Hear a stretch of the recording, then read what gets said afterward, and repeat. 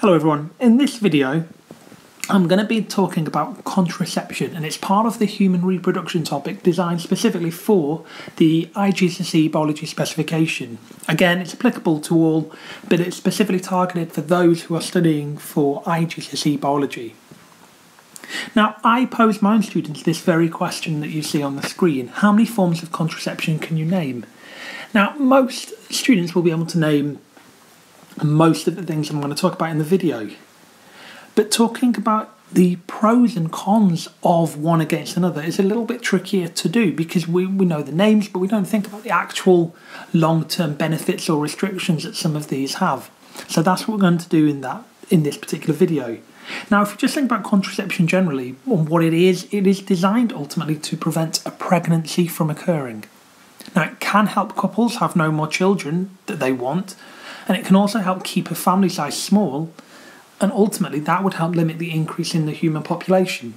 So it's not just designed to stop a pregnancy from occurring for a couple that potentially or individuals that haven't had children before, it could be that to reduce the family size or actually they don't want any more children, that they would use methods of contraception. And in that particular specification, we also look at the effects of an increasing human population. So contraception is one method of doing so. One thing that is really key is it can massively reduce the risk of contracting sexually transmitted infections. That's one of the, the key reasons for contraception, other than preventing the pregnancy. Due to religious or cultural beliefs, some people, though, are prohibited from using any. Now, you can imagine that has a number of ethical and social implications. Uh, what we're going to do, I think, in this video is break down the four main methods we have because we can really classify these contraceptions into four types the natural, the physical, the barrier, and the surgical. So, what we're going to do is just going to go through these uh, categories of contraception, talk about the pros and cons, how it works of each one, and then we're going to look at something called uh, the HWY value, and it's a measure of the effectiveness of the contraception. So let's look at some of these. So move to the condom. Now the condom is what's known as a barrier method of contraception. It's placed over an erect penis to prevent sperm entering the vagina. And it is safe to use if used correctly, but you need to ensure that there's no sperm leakage from the condom and one of the great things about it is it helps reduce the transmission of viruses like the HIV virus, the human immunodeficiency virus, and also gonorrhea infections. So there's our first uh, barrier contraception.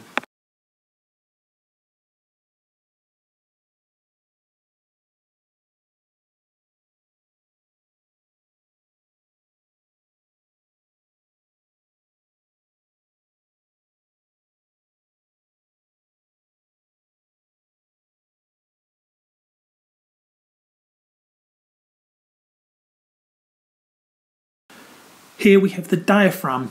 Now, diaphragm usually is applied with spermicide, and that's uh, the last of our barrier contraception. So we've got the condom, femidom, and this diaphragm. Now, the diaphragm is a thin circular sheet of rubber, and it prevents sperm from entering the vagina. Now, this is reliable if fitted correctly and used with spermicide, which can be like a cream or a gel that kills the sperm. But one thing to bear in mind is that it must be the correct size and it's kept in for at least six or more hours. So obviously that uh, could cause a certain level of discomfort, but there we have the diaphragm, another barrier contraception. Here we've got the IUD or the intrauterine device. The IUD is a chemical method of contraception. It's a small plastic coated copper coil which may be left in the uterus for months or even years. Now, this is quite reliable. It prevents implantation by irritating the line of the uterus. And that, however, can cause symptoms such as bleeding.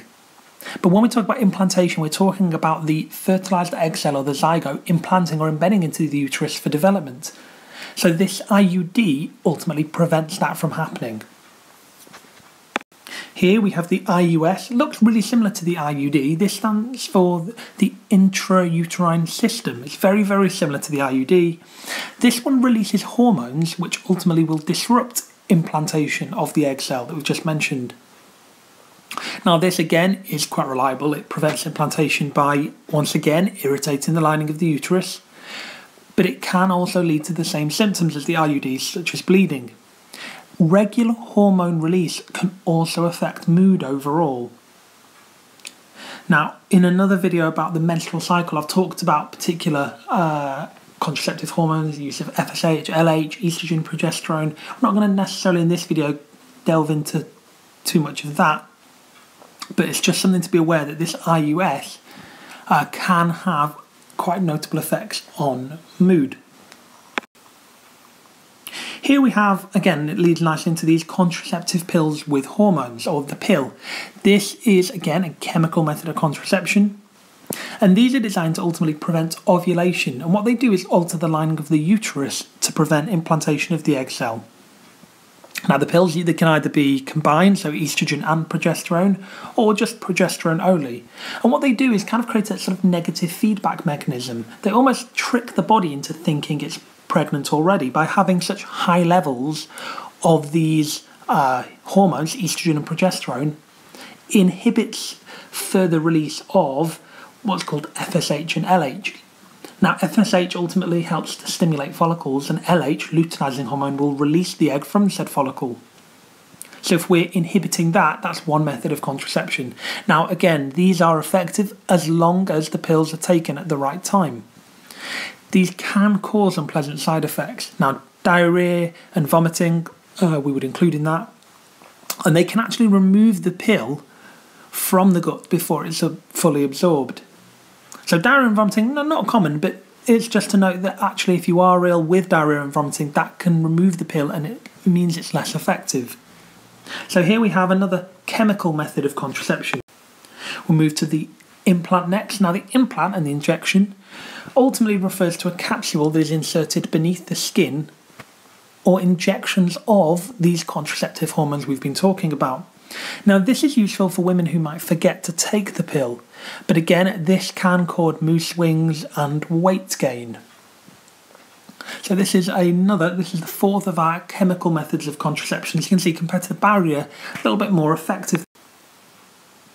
And the injection, as we've mentioned, this is the ultimate injection of these contraceptive hormones used when the pill uh, is deemed a sort of more difficult kind of option. So the injection far easier, lasts longer, and if you forget to take the pill, then this would be the route you would ultimately go down. So let's look at the vasectomy. Now the vasectomy is a surgical method of contraception. It is a permanent method of contraception. It is 100% reliable and there are no side effects. But it can be difficult to reverse, so it really needs real consideration. So if a man decides that he would like children later down the line, there can be difficulty in reversing this process. Let's think what is actually happening. So, in men, the sperm ducts are actually cut or tied, and that will prevent sperm from leaving the penis. So, vasectomy is a permanent method of contraception because physically there will be no sperm being released. Now, equally, this leads on to female sterilisation, so a female surgical method of contraception. Here, what we're going to do is tie or cut the oviducts or fallopian tubes. Now, when we do that, what we're doing is preventing eggs from travelling down those oviducts. So, if we cut, as you can see in this image to the left, or tie, as you can see on this image to the right, then what we're doing is preventing the egg reaching from sperm should there be sperm there. And that's known as female sterilisation. Once again, it is a permanent method of contraception, 100% reliable with no side effects. But like the vasectomy, this can be difficult to reverse. So you really need to consider if this is the option for you. And finally, this category, a bit more unusual, and it's one that people think a bit less of when they think about contraceptive methods. It's called the natural or the rhythm method, and there are three things that we can focus on here abstinence, monitoring body temperature, and cervical mucus. Now, abstinence is simply avoiding sex completely or just avoiding sex when the egg is likely to be in the oviducts, and that's known as the fertile period. Now, you can imagine this would only work if menstrual cycles are regular and predictable, so therefore, it's quite an unsafe method. It's useful though if couples don't wish to use any other method of contraception. So if any of the barriers, so the condom, femidom, diaphragm, the chemical, the IUD, IUS, the contraceptive pills, the implant, the injection, or even the surgical, the vasectomy and female sterilisation, if if they are just not possible options at all, then abstinence could be the way forward. Equally, monitoring body temperature sounds a bit unusual, but ultimately, what you can do is monitor the body temperature and look for changes that occur at times of ovulation.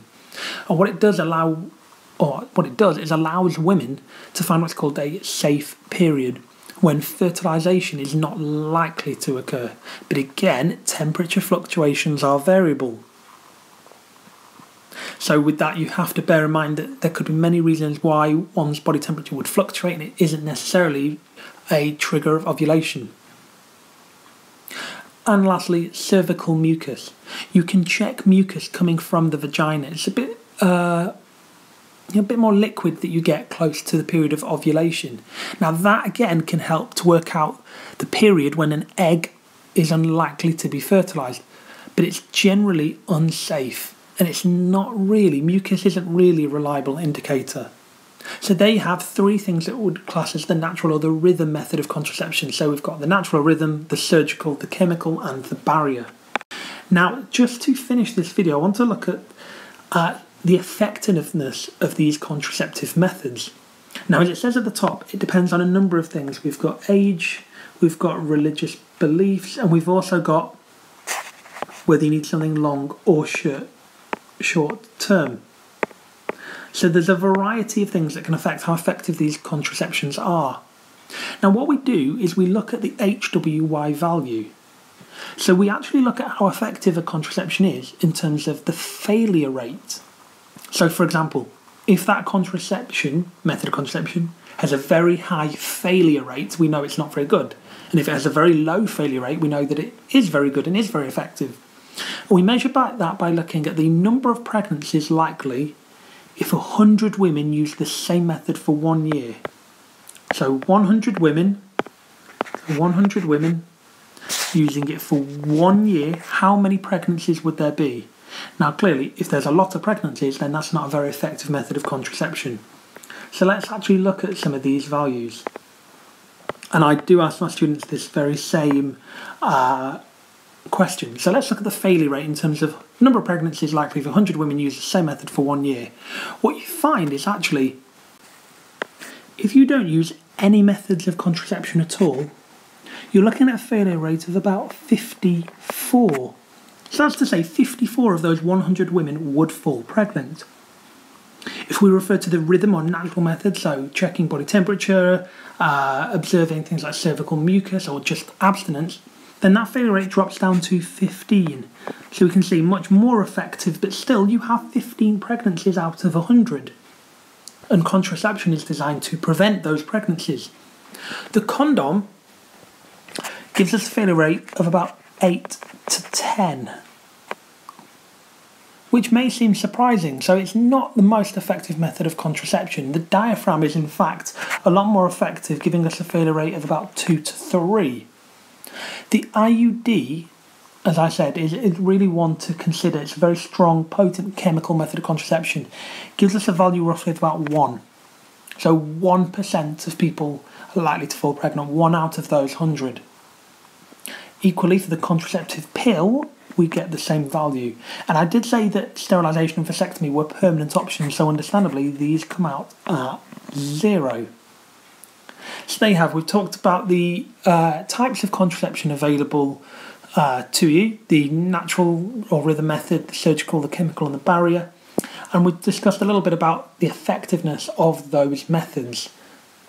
I've said that a few factors have influenced the effectiveness, but ultimately we can measure the failure rate to decide which one would be best. Okay, hope all that helps.